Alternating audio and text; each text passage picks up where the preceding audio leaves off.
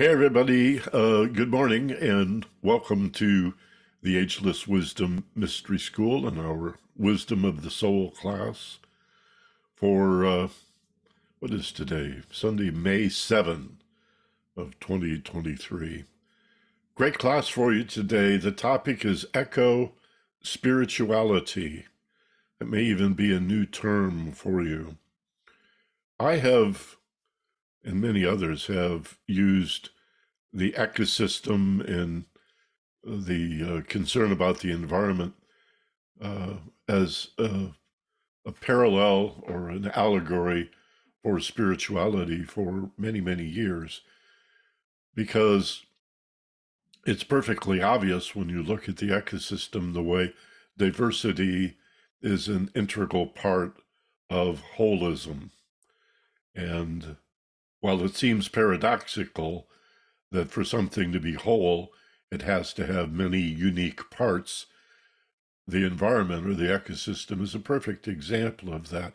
The interreliance and interdependence of all these uh, myriad of life forms, plant and animal, and their relationship to the mineral kingdom is so remarkable that the unity and the harmony comes out of this need for diversity.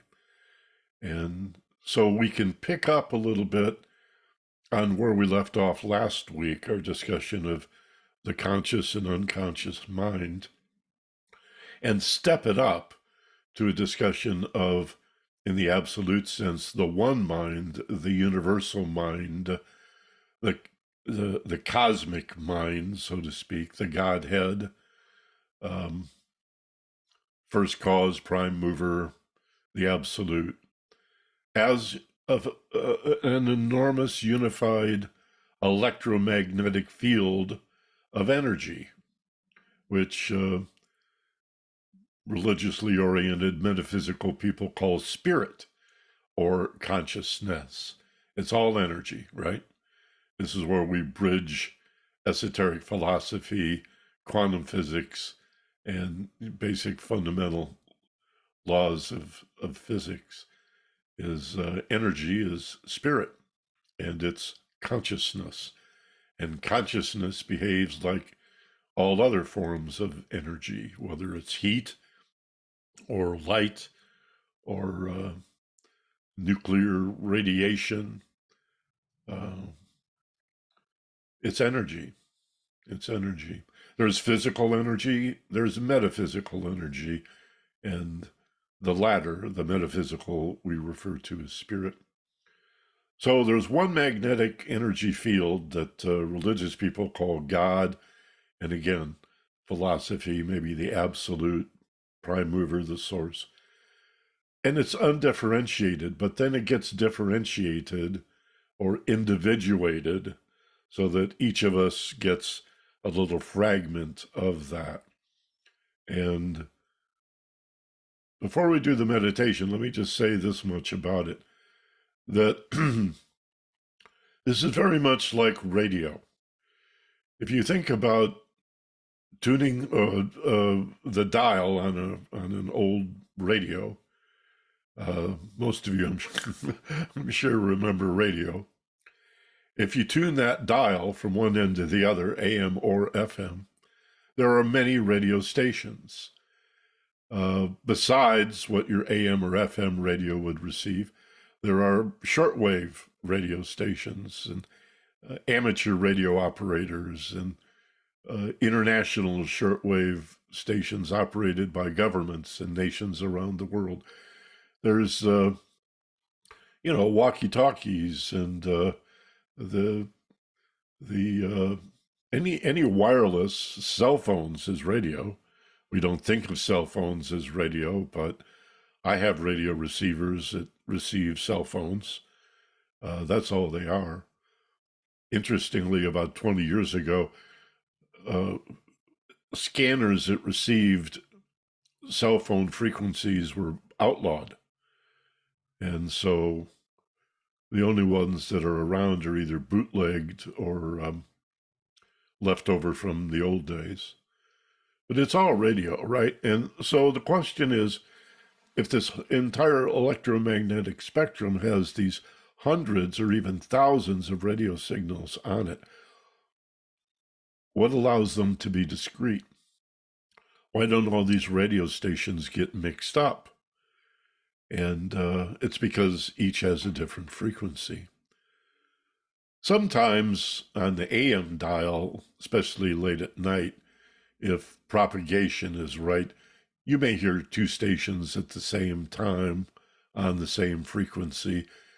That's just because they are, in fact, assigned the same frequency, and usually they're far enough away that the signals don't mix. But um,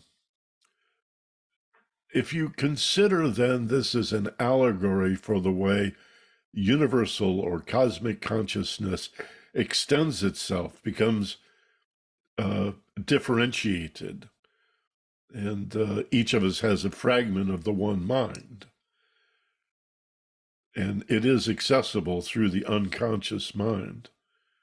Wisdom of the soul is all about listening to the voice of the soul and contacting your higher self.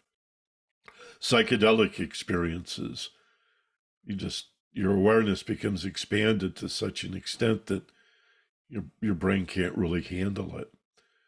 So consider it as being like radio. Each of us, if we think of ourselves as energy rather than matter, has our own frequency, right? We have not only fingerprint evidence and DNA proof of our individuality, but as energy beings, as spiritual beings, we each have our own frequency. And so, in that way, this paradox of the one in the many, of the universe being this cohesive, unified electromagnetic cloud or ocean or field of energy, can carry all these different frequencies and they don't get mixed up. There is ESP, of course, and telepathy and clairvoyance or remote viewing and precognition and such. Jung's collective unconscious. And uh, I don't want to ramble on too much about this, other than to say, after our opening meditation, we're going to use the ecosystem and the environment as a further allegory for this, so that we can better understand this enigma of the one in the many. How can we all be part of one thing and yet each be unique and get over that hurdle of, well, they're different, they even seem to be opposite, so how could they both be true? Well, they can be. you know, how could a coin have two sides? Or a pair of glasses be one thing? A pair of pants, a pair of gloves is one thing, right? So uh, we'll work through that. It's a very important concept. It's really basic to metaphysics to be able to straddle that fence and to understand the truth in both of these views that we're all part of one thing. There's just one of us here. And yet we do extend ourselves a myriad of radio stations into these individual forms. And both things are true. Remember, we talked a few weeks ago about the two truth doctrine.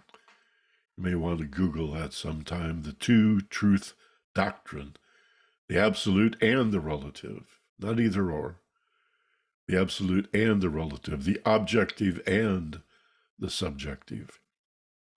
And while a little mind boggling at first, when you work that clay and soften it up a little bit, get your brain around it, wow, it's so cool. Because you can look like we will today at nature, at a single tree, at a single blade of grass, and see the universe in it. Um, wasn't it William Blake that had a line about the universe in a grain of sand? What does that mean? Well, is the ocean not in the drop? Right? What what about the ocean is not in the drop? The drop appears to be separate from the ocean. The ocean is not separate from the drop. Okay, with that as a foundation, let's do our opening meditation. So get comfortable in your chairs or uh, wherever you may be seated, sofa, cross legged on your bed, meditation pillow. Close your eyes. And begin to relax, experiencing yourself as balanced and centered. So that you can sit upright without any tension, without any rigidity in your muscles. Think of your body as nicely balanced. And take three or four nice, slow, deep breaths, inhaling through your nose slowly. Hold for just a beat as you peak, and exhale just as slowly through the nose or the mouth. And feel the letting go, going beyond where you'd normally stop. Pause for just a beat and then inhale again. At least four or five seconds per breath. In and then four or five seconds out. And as you become more and more relaxed, you'll find that you're able to slow it down even further, maybe eight or 10 or 12 seconds on an inhalation.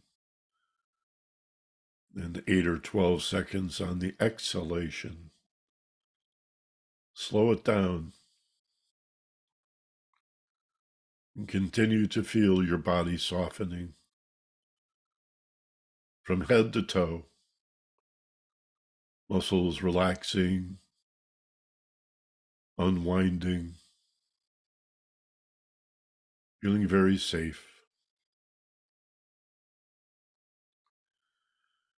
Drop that suit of armor. Drop your sword and shield. Allow yourself to feel open and receptive, safe and relaxed. And then allow your breathing to return to normal. allowing your body to breathe itself. And bring your awareness to the bottom of your nose. And for just a minute or two, watch your body breathing itself. This brings us into the present moment. It creates a point of interest and a degree of non attachment. Understanding that those slow, deep, purposeful breaths were done by you as the breather. But now your body breathes itself. And so you are no longer the breather. You are the one who watches. You are your awareness of the body breathing itself. You are your awareness of your body being breathed for you. And so you feel even more letting go. And you experience the freedom of knowing you need not breathe yourself. That these things are handled for you.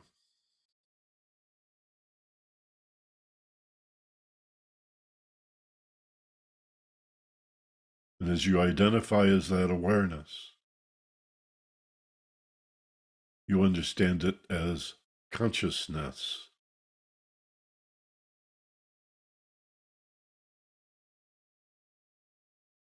And in Western religion and psychology, as love. more than an emotion. Agape, charity, capital L, love,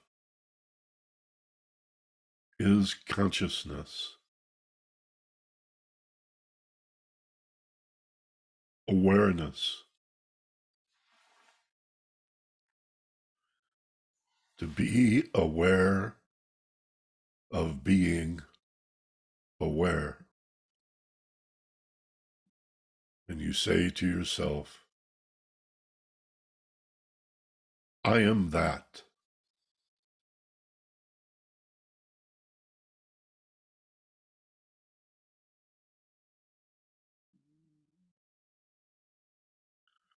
Behind my ability to breathe deliberately and purposefully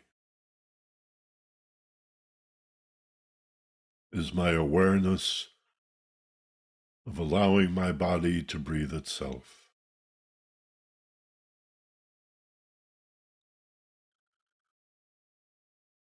Behind my thinking is an awareness that allows me to watch the thoughts bubble up,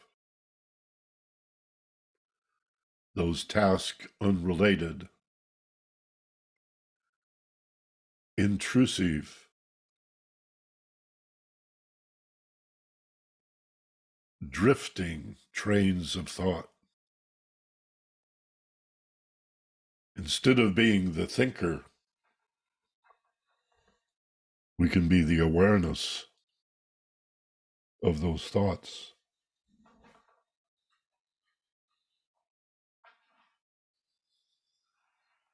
And so too our emotions.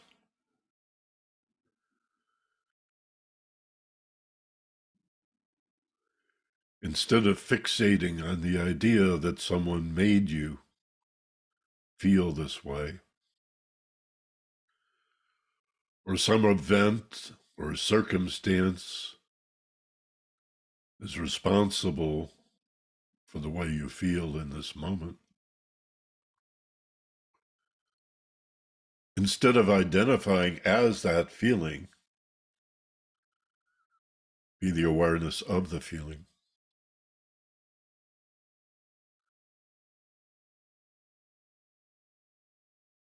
How strong is this feeling?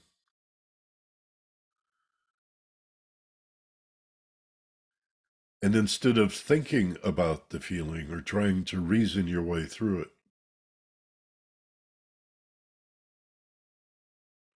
simply feel it without judgment.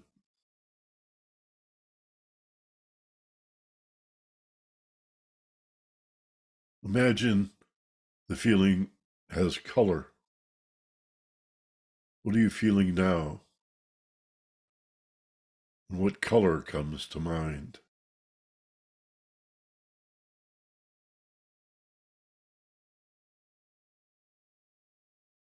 Imagine the feeling or set of feelings that you are experiencing right now in this moment has not only color but texture and temperature. Imagine carefully reaching out to touch it. Be that aware of the feeling. And so too our behavior, instead of reacting reflexively without thought, much less consideration of the consequences of a particular behavior.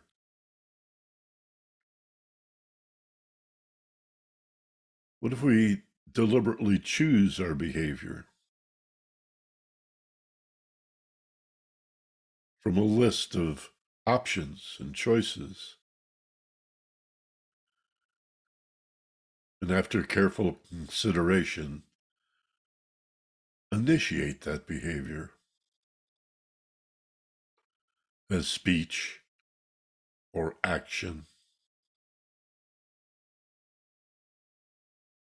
Beyond thinking, there is the awareness of intrusive thoughts that we call thinking, but they're not deliberate thoughts. And beyond our emotions is the awareness of how we feel and its various qualities the rise and the fall, the ebb and the flow of an emotion. And beyond our behavior is variable awareness. And our relationships and our perception of the world around us. As we learn to identify as the awareness we awaken. We see more. All of our senses, hearing, smelling, tasting, touching, subtle intuitive feelings in the body become richer, more meaningful as we begin to realize we are that awareness of the world around us.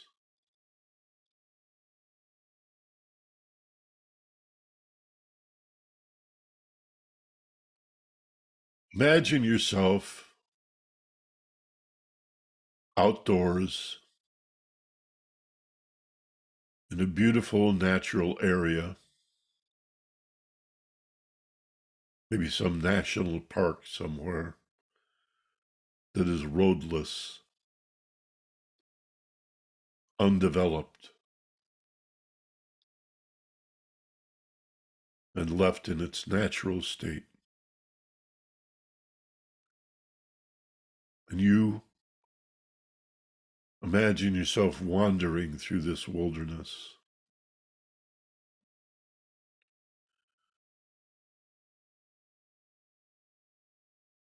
Allowing my voice to guide you. Listen for the sounds of this place. Listen for the birds.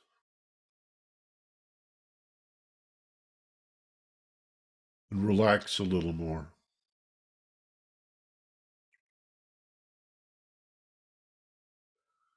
Listen for the sound of gentle breezes in the tops of the tallest trees. Listen.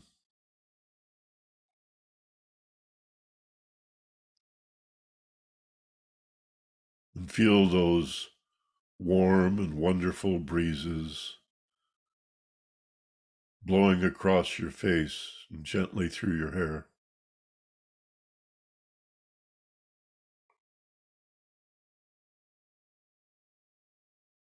Imagine smelling the fragrances of nature carried on these gentle breezes. And something about it all encourages us to relax even more, to feel safer. Somehow happier, more peaceful, and carefree. As if time stands still. And there's no place else you'd rather be. And nowhere else you need to be. But right here, right now, in a place that is so natural, we call it nature.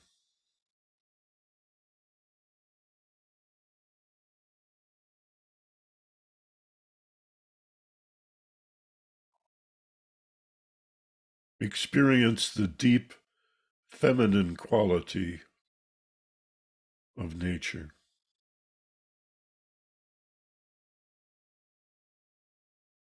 As you continue to wander through the forests, through the meadows, over mountains or through valleys, whatever occurs to you.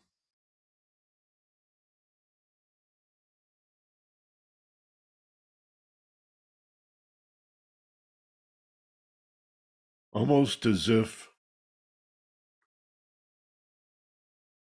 you remember from ancient times a feeling of living with such peace and tranquility. Something about it seems so familiar.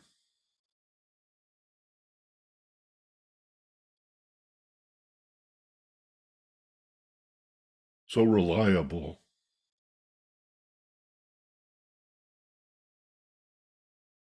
So perfect.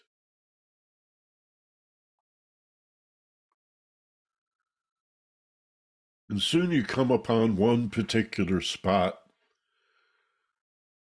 that almost takes your breath away. It's so perfect and so beautiful. Seems to me there may be a little water here, maybe a little lake or a pond maybe a little stream spilling down the mountainside. You find a grassy spot beneath a shade tree, or a nice big rock that looks like the perfect place to sit. And you sit upon the earth and you feel grounded, connected, rooted in the earth.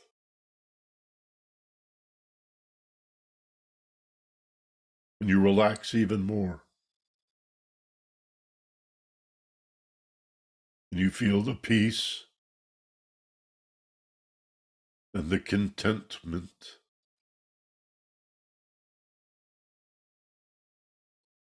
and happiness for no reason. For no reason at all.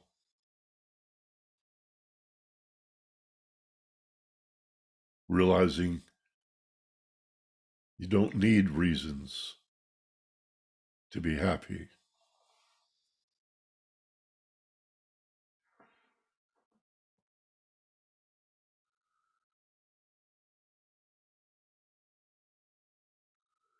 And there's something in your field of vision. It may be a tree, one single tree, or a bush,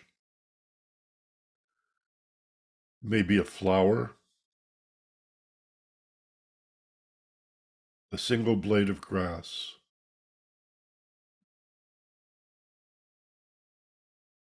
That you look at closely like you've never seen it before.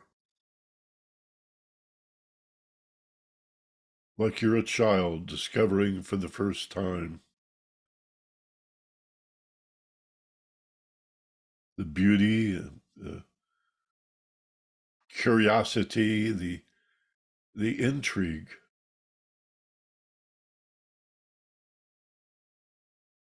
You find the fascination in such a simple and natural thing. Perhaps it's just a pine cone or a nut that you found laying on the ground.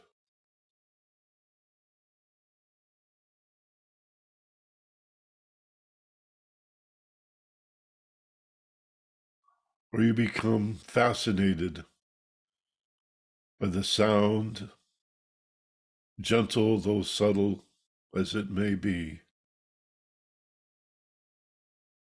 of the edges of the pond lapping on the shoreline, or the bubbling and splashing of the stream spilling down the hillside.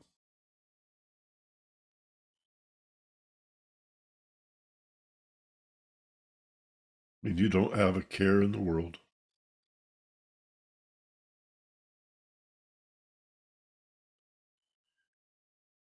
It's as if everything is okay.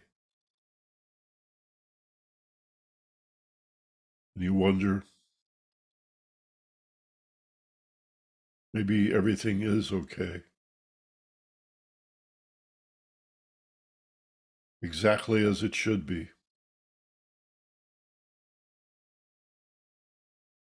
And maybe that's always been the case.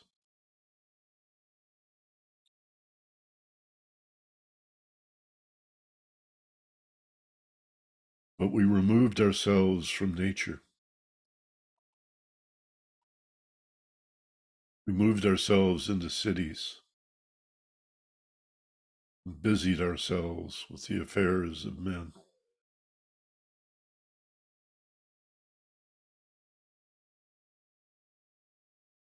And we know the reasons for that. We need not review all of that, but simply recognize the enormous benefits of reconnecting with the real world, with nature. There's something so inherently safe and relaxing so peaceful, so joyous about just being.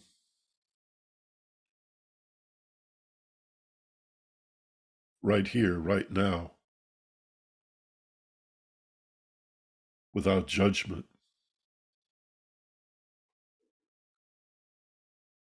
Without needing to fix or change anything, without a problem to solve. Without a worry.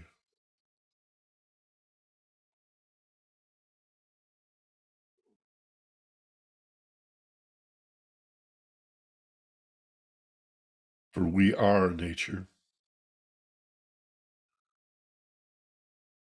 and nature is us.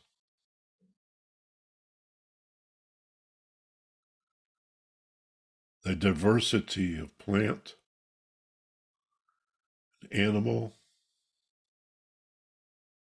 is essential to the unity of all things.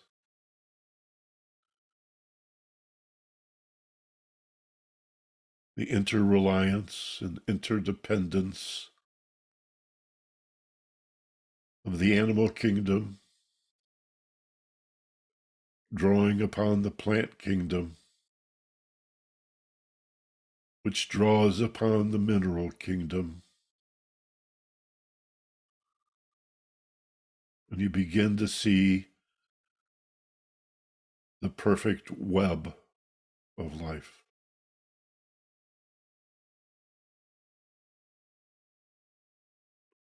The connection of every seemingly separated thing to the one. And the one in everything. This is peace of mind. This is goodness, truth, and beauty.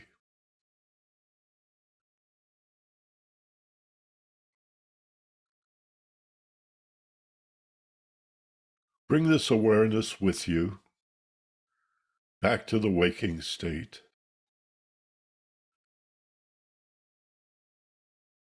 In an effortless way, simply form the intention to remember this feeling. And to recall it any time you feel frustrated or irritated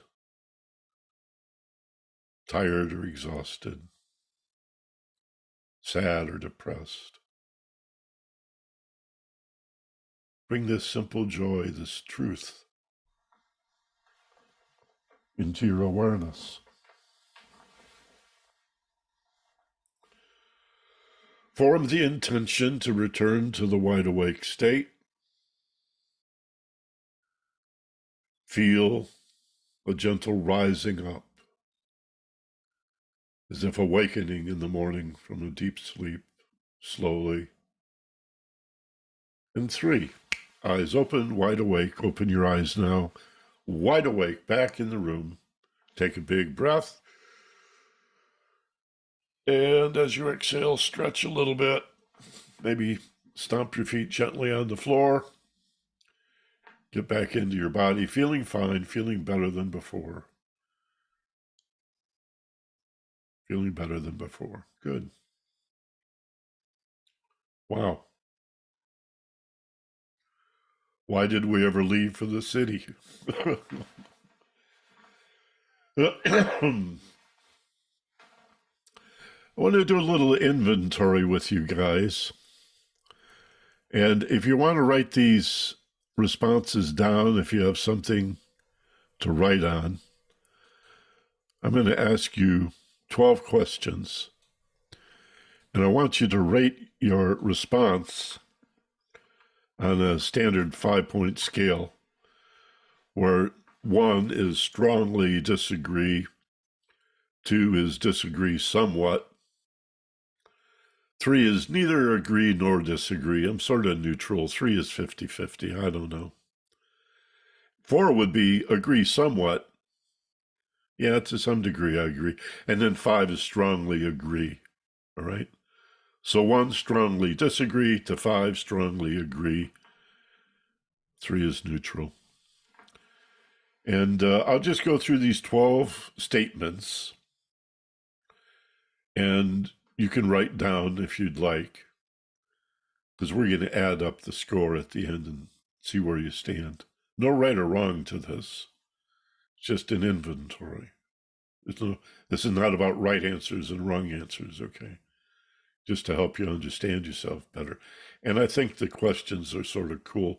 They come from a study that was done at the University of British Columbia about eco spirituality and human beings rediscovering their spiritual nature through physical nature. And uh, it seems somehow appropriate that the study would be done in British Columbia if you've ever been up there. All right, so you get it. Number one is strongly disagree, five is strongly agree. And hopefully you have paper and pencil or pen by now. So here's number one. You ready? Do you agree, disagree, or are you somewhere in the middle? Jungles experience moods. Jungles experience moods. Strongly disagree, two disagree somewhat, three sort of on the fence either way, four agree somewhat, Five strongly agree. Jungles experience moods. Number two, deserts have their own emotions. Strongly disagree, disagree, neutral. Four agree somewhat, five strongly agree. Deserts have their own emotions.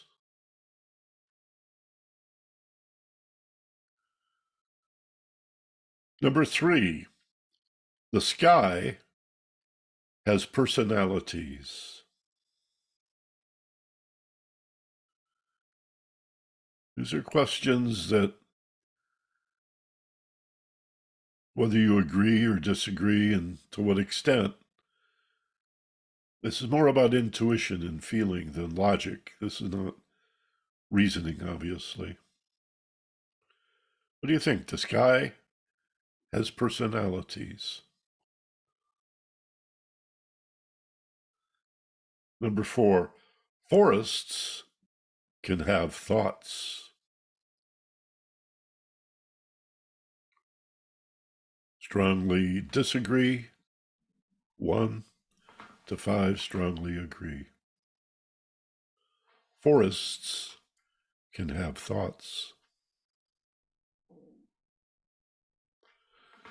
Number five, I feel intense wonder toward nature.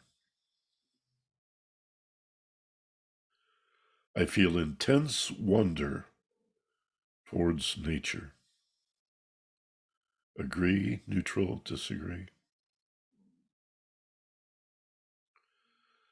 Number six, when I am in nature, I feel a sense of awe. Agree or disagree?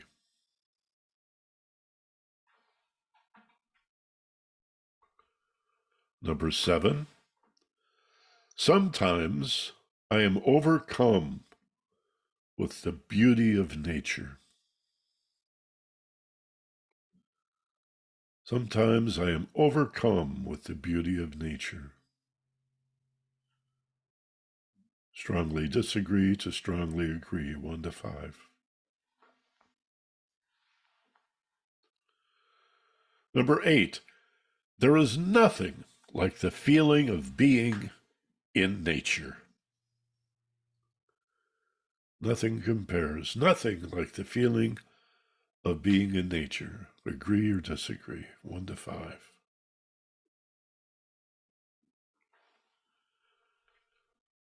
Number nine, there is a spiritual connection between human beings and the natural environment.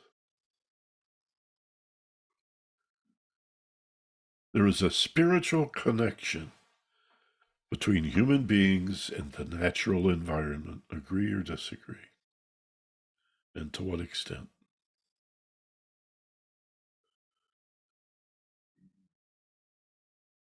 Number 10, there is sacredness in nature. Strongly disagree, one. Strongly agree, five. One to five. There is sacredness in nature. Just two more. Number 11. Everything in the natural world is spiritually interconnected. Agree or disagree? Actually, disagree to agree.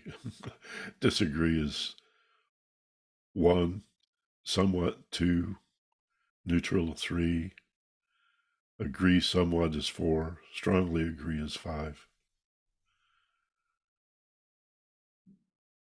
Everything in the natural world is spiritually interconnected. And 12, nature is a spiritual resource.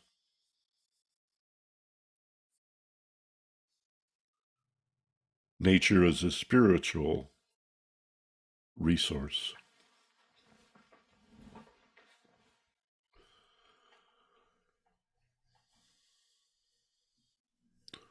We know that there are natural resources. We use that term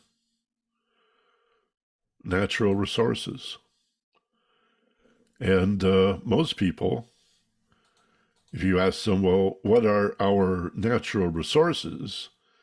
They might say, oh, you mean like water or minerals, like gold and or, or diamonds and gems and metals like gold and silver and you know esoteric metals lithium and cesium and plutonium these are resources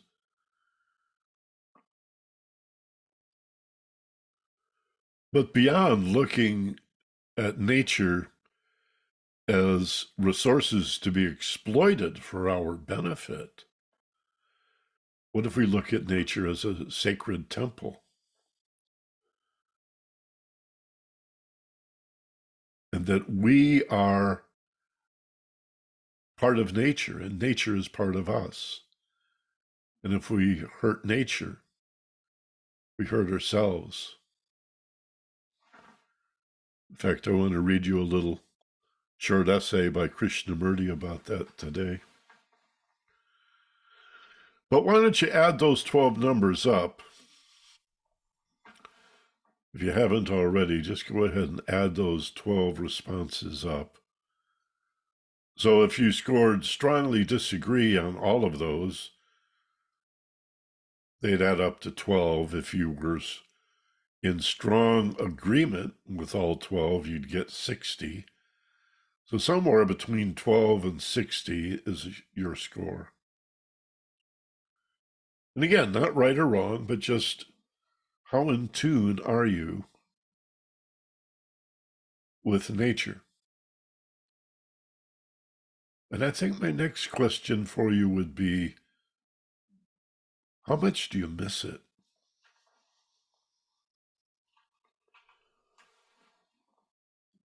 I mean, we have, uh, I don't know, 18, 20s, 22 people I presume most of you are in cities. Could be anywhere in the world, but it's likely wherever you are, you're in a city. And uh, we have trees, right? And maybe there are city parks. That's nice. Maybe you have flowers or a vegetable garden in your yard.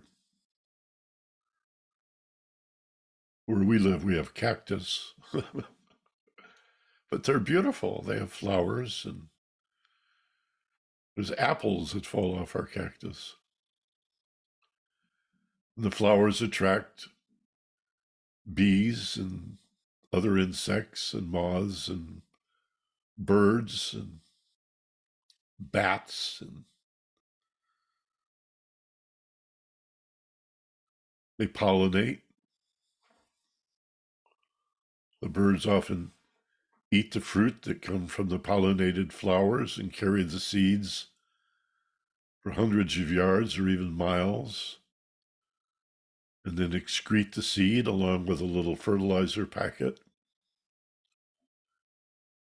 Some seeds have evolved to be carried upon the wind long distances. Quite remarkable the way nature evolves and propagates itself.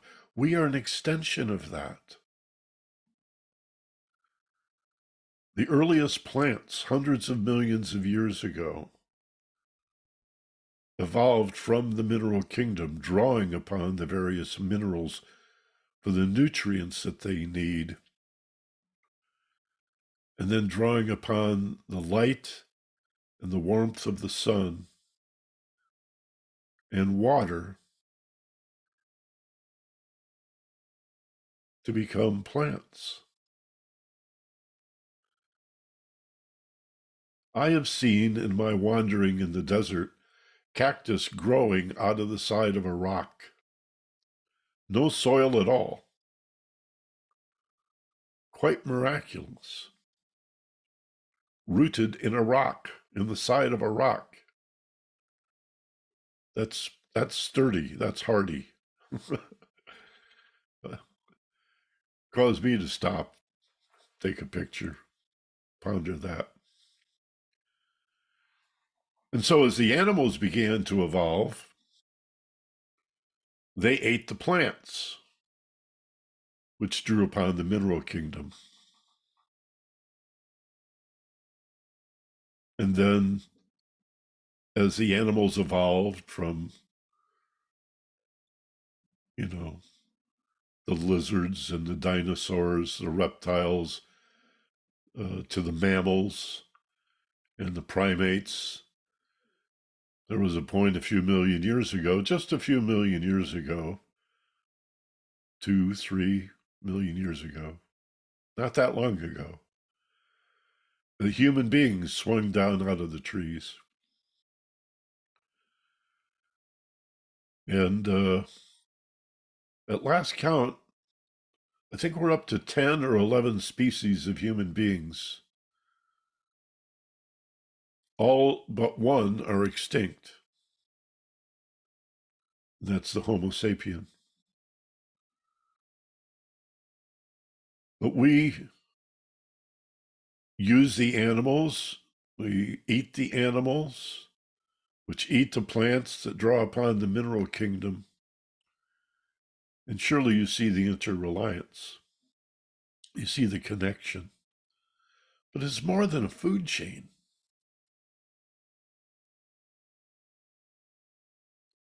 There's a uh, symbiosis. Do you know that word? An interreliance, an interdependence. There are species of fish, for example, I'm just pulling off the top of my head. Uh, there are species of fish that live and depend upon cleaning the teeth of sharks. That's what they do. There are countless examples, thousands and thousands of examples of animals relying on other animals in such a way that both species benefit from the presence of the other. I remember a fellow calling my talk show years and years ago, and uh, he was, uh, I don't know, some sort of uh, conservative, I guess he thought he was, some pro corporate big business thinker, and he challenged me. He said, Hoover Dam is no different than a beaver dam. And I said, You're not serious. And he said, Yeah, it's just Hoover Dam is bigger, but why do you hippies all think big dams destroy the environment? Doesn't a beaver dam destroy the environment? And I said, Well, besides the scale involved, Hoover Dam went up in like 10 years. Beaver dams have happened over millions of years. And so all of the plants and animals, the fishes, uh, the other critters that need the water and the fish in the water, they've all evolved slowly over that time as the beaver has evolved. And so there is this interlocking, inner dependence, this interreliance, this symbiosis, or a natural evolution or unfolding, a natural growth and change promotes mutual benefit. And those that don't change die, become extinct, which is the future we face.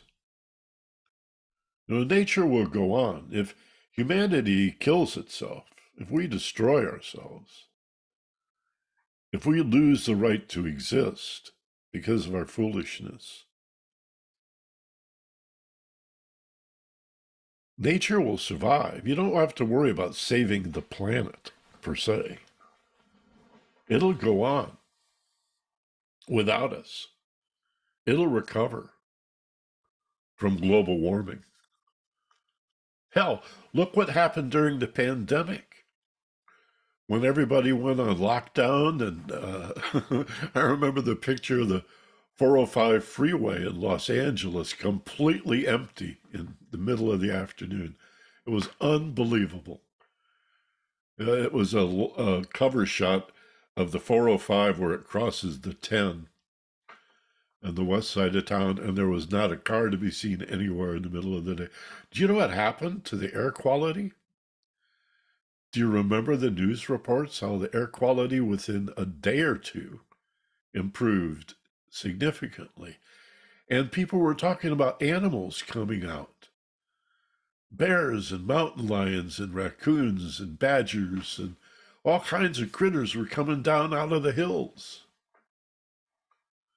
within a day or two just because people freaked out and stopped driving. There were a couple of days there where nobody went anyplace. We were just paralyzed by fear.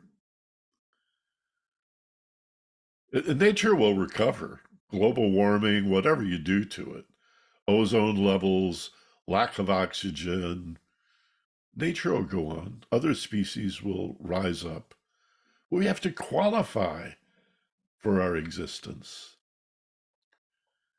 It's the top of the hour, and in about five or five minutes or so, I want to go to the Q and A. So hopefully, you're thinking of questions or comments on this whole idea of eco spirituality, the interconnectedness of all things, physically and metaphysically, materially and in terms of energy, spirit, consciousness, awareness, the one in the many.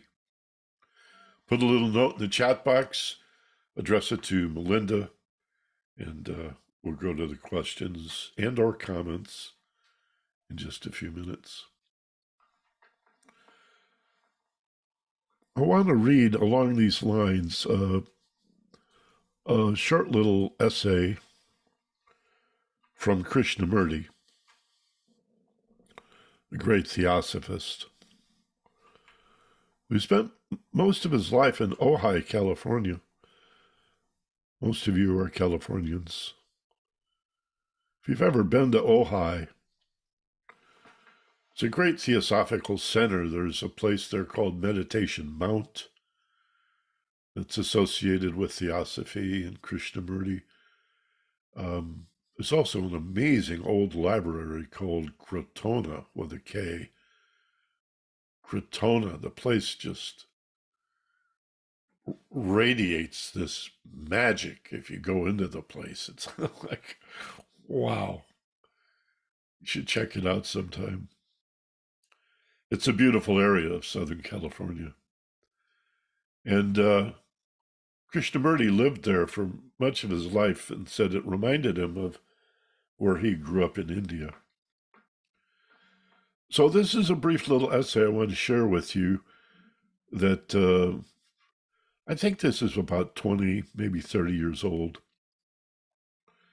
And the essay is titled, If You Hurt Nature, You Are Hurting Yourself. And I'm just going to read through this. begins What is nature? There's a great deal of talk and endeavor to protect nature, the animals, the birds, the whales, and dolphins, to clean the polluted rivers, lakes, fields, and so on. Nature is not put together by thought as religion and belief are. Nature is the tiger, that extraordinary animal with its energy and great sense of power. Nature is the solitary tree in the field, the meadow, and the grove. It is the squirrel shyly hiding behind a bough. Nature is the ant, the bee, and all the living things of the earth. Nature is the river, not a particular river, whether the Ganges, the Thames, or the Mississippi. Nature is those mountains, snow clad, with dark blue valleys and a range of hills meeting the sea. The universe is part of nature. One must have a feeling for all this not destroy it. Nature is part of our life. We grew out of a seed, the earth, and we are part of all that. But we are rapidly losing the sense that we are animals like the others. Can you have a feeling for a tree? Look at it, see the beauty of it, listen to the sound that it makes. Can you be sensitive to the little plant, a little weed, to that creeper growing up the wall, to the light on the leaves and the many shadows? One must be aware of all of this and have that sense of communion with nature around you. You may live in a town, but you do have trees here and there, and a flower in the next garden, though it may be ill kept, crowded with weeds. But look at it. Feel that you are part of all of that, part of all living things. If you hurt nature, you are hurting yourself. One knows all this has been said before in different ways, but we don't seem to, we don't, excuse me, we, we, we don't seem to pay much attention. Is it that we are so caught up in our own network of problems, our desires, our urge of pleasure and, and pain, that we never look around, that we never watch the moon. Well, watch it. Watch with all your eyes and ears, even your sense of smell. Watch. Look as though you are looking for the first time. If you can do that, you see for the first time that tree, that bush, that blade of grass. Then you can see your teacher, your mother or father, your brother or sister for the first time. There is an extraordinary feeling about that the wonder, the strangeness, the miracle of a fresh morning that has never been before and never will be again. Be in communion with nature, not verbally caught up in the description of it, but be part of it, be aware. Feel that you belong to all of that. Be able to have love for all of that, to admire a deer, the lizard on the wall, that broken branch lying on the ground. Look at the evening star or the new moon without the world without merely saying, Oh, how beautiful! How beautiful it is, and then turning your back on it, attracted by something else. But watch that single star and new delicate moon as though for the first time. If there is such communion between you and nature, you can continue with man with the boy.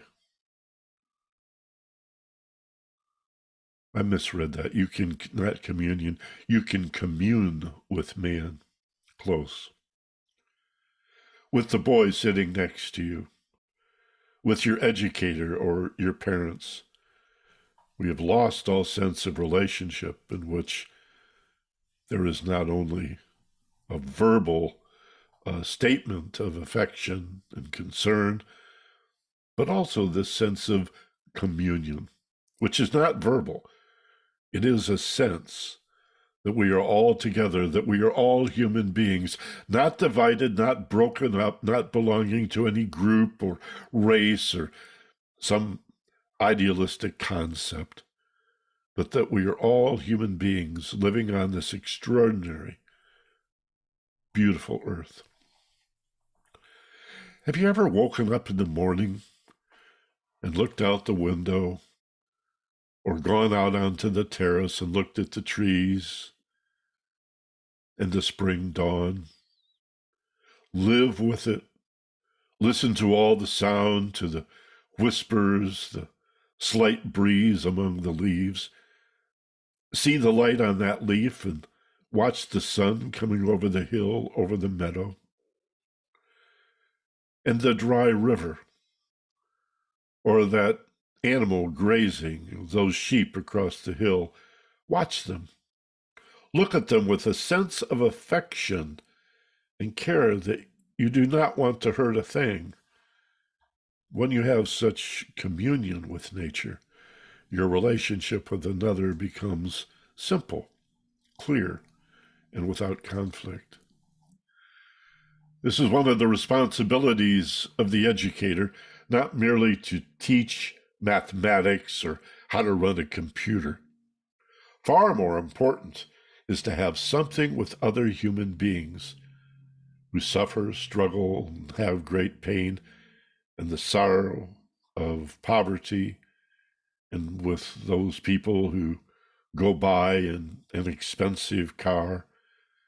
If the educator is concerned with this, then he or she is helping the student to become sensitive, sensitive to other people's sorrow, their struggles, their anxieties and worries, and the roles that one has in the family. It should be the responsibility of the teacher to educate others, to have such communion with the world. The world may be too large, but the world is where he is. That is his world.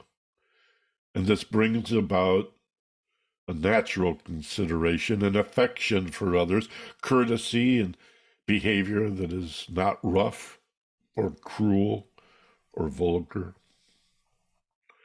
The educator should talk about all these things, not just verbally, but he or she must feel the world of nature and the world of man.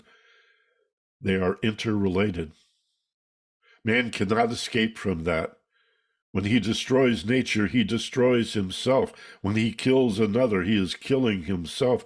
The enemy is not the other, but you. To live in such harmony with nature, with the world, naturally brings about a different world. Krishnamurti. That obviously was addressed to teachers, but aren't we all? Uh, teachers, wouldn't, wouldn't we like to have greater influence? Such that everyone and everything around us is our teacher, but the more you understand about life, the more you have to teach. Plus, I love this line. I've always liked this phrase. He or she who teaches learns twice. There's nothing like teaching to accelerate learning. Because you have to explain what you thought you knew. you have to find the words for it. It's one of the reasons I enjoy doing this class. I come from a family of teachers. All right, so uh, eco spirituality, the way in which the environment, the ecosystem, uh, demonstrates the uh, the seeming paradox of the one in the many, how it takes great, grand diversity and an appreciation of it for there to be the whole or the one. What does the word holy mean? Holy, holism. It's complete, it's the total. That's what holy means. Sacred, all that is. So, if the great body of all that is, the universe, is sacred in any way at all, if it's holy, then everything in it must also be sacred.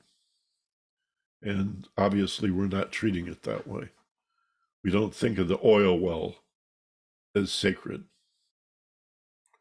We don't think of the the mines, the deep caverns in New Mexico where nuclear waste is stored for the 40,000 years it'll take to decay as sacred. We don't behave like sacred people. We behave as if we worship technology. Oddly, the indigenous people of this continent, and I trust the world as well, in the pre industrial times, those who lived close to the land recognized its sacred nature. And uh, when America was invaded by Europeans, or they like to say discovered, there were not a single stream was polluted. There was no litter. The air was not poisoned or toxic. Is it really worth the trade out? And do we have to go back to pre industrial times? Or can we find a balance? See, I think we can. I think we can have high tech and appropriate tech and still recognize our inherent nature connected to all things.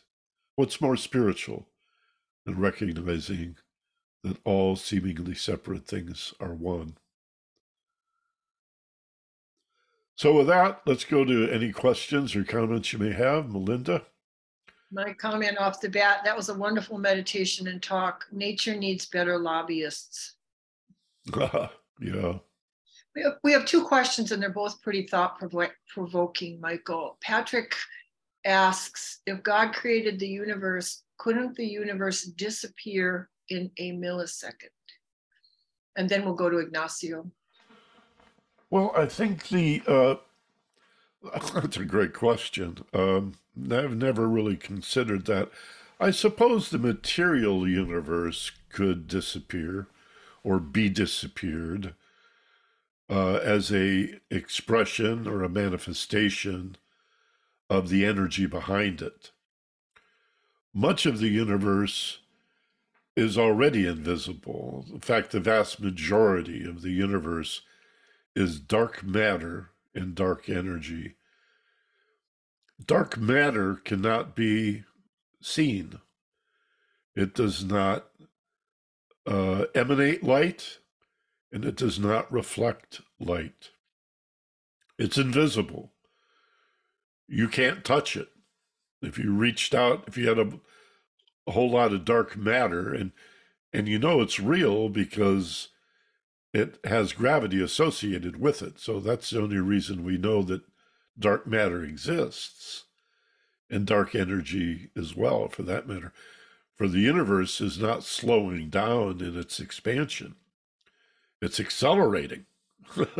well, why would the universe accelerate uh, 13 billion years after the Big Bang? Why is it still accelerating? Where's that energy coming from? There are other energies that we don't understand, so we call it dark energy. And somewhere on the order of 85 or 90% of the matter in the universe we cannot perceive. It's already disappeared, it's already invisible. So we're just living in a little parcel, a little corner that we've evolved in, sort of a relative universe. You hear people talking about multiverses, but behind it all is an awareness, uh, a, a consciousness, a love, a passion, a, a, a wonder, a curiosity, a desire to be more, and, and, and urge, a longing to grow and expand and evolve. a, a metaphysical energy beyond space and time that I see as eternal and infinite that has no beginning and no end. These are the teachings that resonate with me and most mystics. Um, I don't want to say it's true because I believe it, but um, I think even if the physical, dense, material universe that we know of were somehow to disappear, the eternal and infinite essence of it all would continue in some form or other. I don't know. You want to follow up on that, Jack? That was Patrick. Oh, Patrick. He may be driving. He may He might be able to. driving. Yeah, Yeah. oh, there he is. No, no, I'm lucky I got somebody driving me now. We need to get to Ignacio too. Of course, we will. What do But you say, Pat? yeah, I totally agree, Michael. What was the nature? Michael, can you hear me? yeah, I can. Yeah. Yeah, I totally agree. When I said the disappear, it would be the material because the conscious awareness is just part of the creator. Right. Right. Am I Okay. making progress? That's for you to know. Uh, I think so. I like it. I don't say, st- I never said stuff like that before because I don't think I understood it. But with your help and uh, some other things going on, you know, it's all pointing in the direction. well, I would say progress comes from not having better answers, but asking better questions. So if you're asking better questions and uh, enjoying yourself, then of course you're making progress. Yeah, I think I thank you, everybody's Michael. growing. I think everybody's growing in spite of themselves. Even people who dig in their heels and refuse are going to grow one way or the other. So, uh, and uh, what was the next one, Melinda Ignacio? Uh, Ignacio uh, has an interesting uh, question. What is the best way to come out of a depression if not becoming one with nature and feeling the embracing love sun rays bestow on our skin? Isn't that a way to reach oneness with God? I'd love to hear your thoughts and feelings on the matter. Oh yes. Oh yes, yes, yes. Again, um, as we discussed a couple of weeks ago, depression can result from certain medical conditions, and there's even uh, evidence of a genetic predisposition to so-called depression. But having said that, the vast majority of depression, sadness, melancholia, despair is the result of anxiety. And anxiety is rooted in fear, not understanding. That's what fear is. It's not danger. Fear, I need to repeat this a lot. It's the essence of my book, Fearless Intelligence. Fear's got nothing to do with danger. Fear is not understanding. It's a lack of awareness or um, being obtuse or uh, ignorant. Don't like using words like stupid or ignorant, but there are not a lot of words for a failure to understand, to misunderstand, uncertainty and confusion. Those are good words. That's what fear is. So call it anxiety, call it fear, call it stress, worry, doubt, just a little bit of nervousness or apprehension or some full blown panic or horror or, or paranoia, a little or a lot. That's what's beneath depression. So, to get rid of depression and sadness, we need to get rid of anxiety and, and, and fear and stress and worry. And you saw what that meditation did for you. Everybody experienced. I mean, virtually, oh, half of the meditations I do begin with visualizing yourself in a place of perfect peace, a place of ideal relaxation in nature. Because you immediately, you can even do it now. Listen to the birds. there they are. See, it's so easy to do that.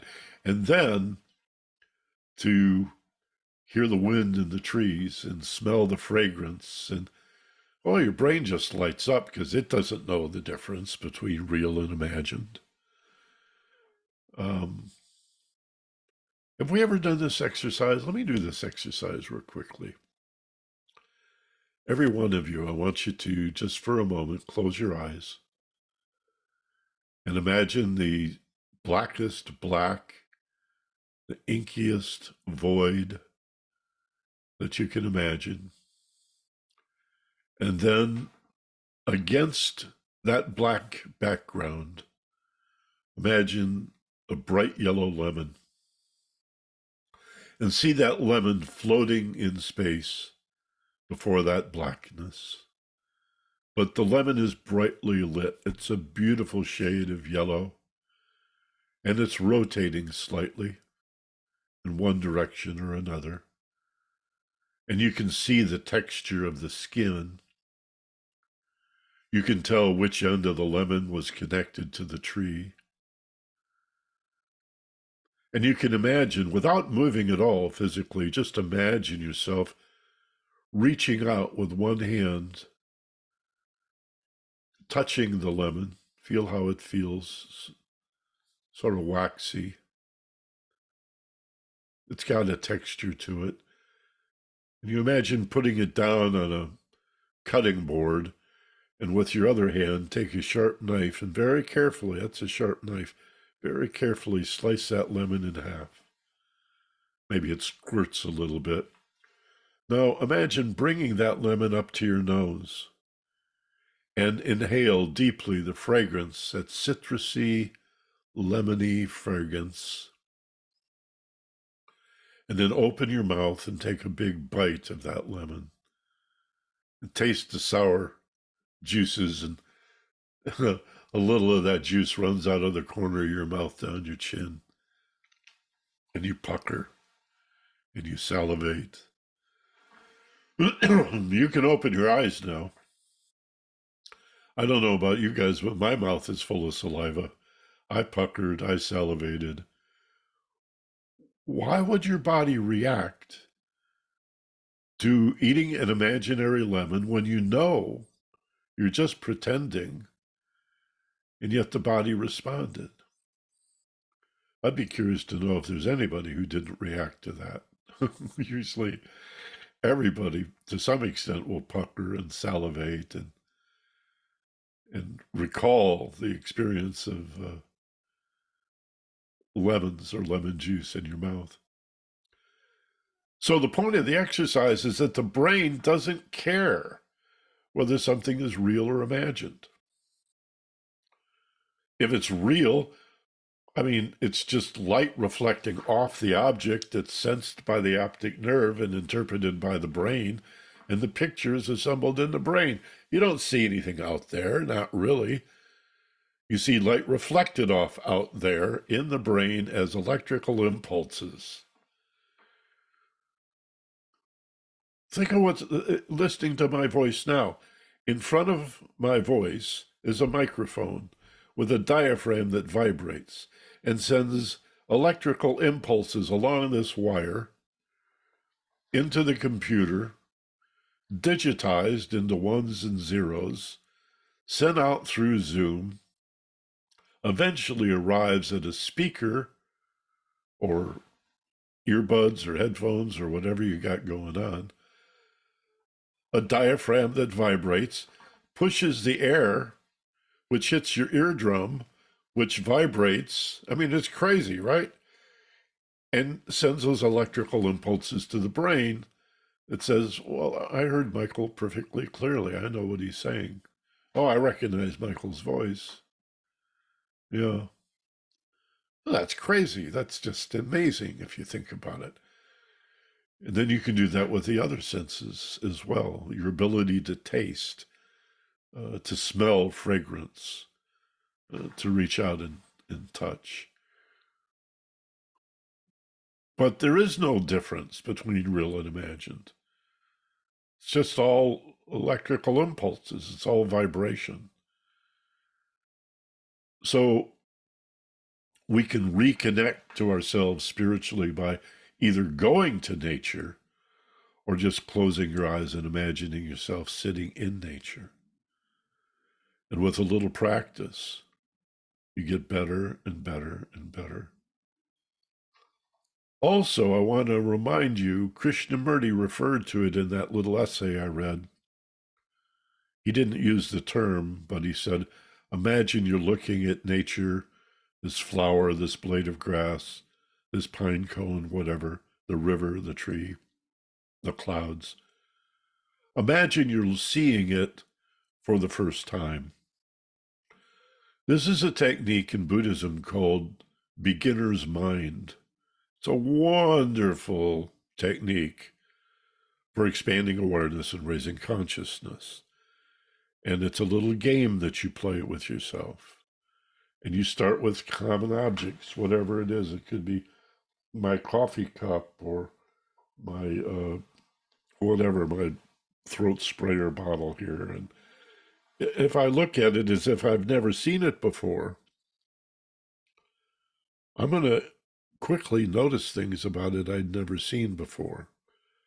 And that feeling of noticing, of noticing what you notice, of being aware of what you're aware of, and experiencing that expansion carries over into other things. Now you begin to look at a sunset more completely and with less judgment. Is that a good sunset? Oh, I've seen better sunsets. Oh, that sunset would be better if only. It's ridiculous to consider. So, why do we judge anything? Well, that's what math is, right? At some point, there are things that need judging. Gee, I got to write a check. Can I afford that? Do I have the money in the bank? It calls for a judgment. But we can rediscover, reconnect, embrace, and um, expand our appreciation of every moment in our lives by looking at it as if it were new and fresh. This lack of time, this idea that there is just this now, this moment that unfolds perpetually. It means every moment is new again. Every breath is a birth. Every breath is new again.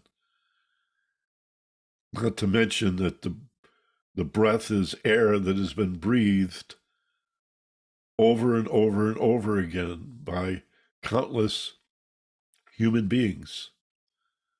And that was proven in the pandemic, right? And animals and plants.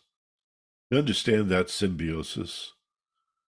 The plant inhales carbon dioxide and exhales oxygen, and the animal inhales oxygen and exhales carbon dioxide. That's pretty damn clever, right?